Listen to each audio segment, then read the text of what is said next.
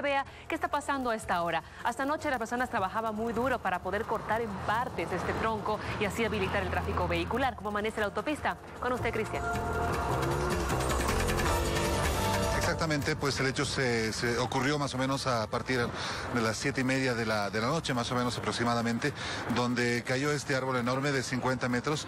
Eh, justamente trabajaron arduamente para, para cortar el árbol aproximadamente en cinco partes exactamente y que eh, en la noche pues se vio perjudicada la carretera, ambas vías de bajada y de, de subida.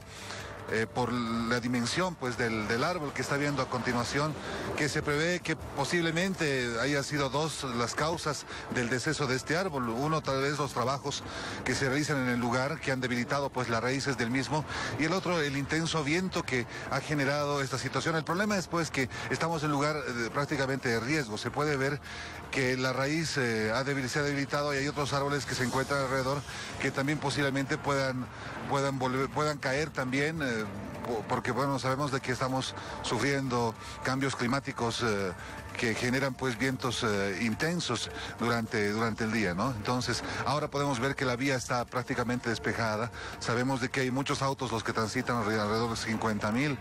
Eh, durante, el, durante el día y la noche, entonces por ese mismo motivo hay que tener algo de precaución, pero más bien que la empresa justamente constructora que trabaja en ese lugar ha obrado rápido y ha logrado pues levantar pues por pedazos este árbol inmenso pues que estaba perjudicando esta vía importante acá en este lugar.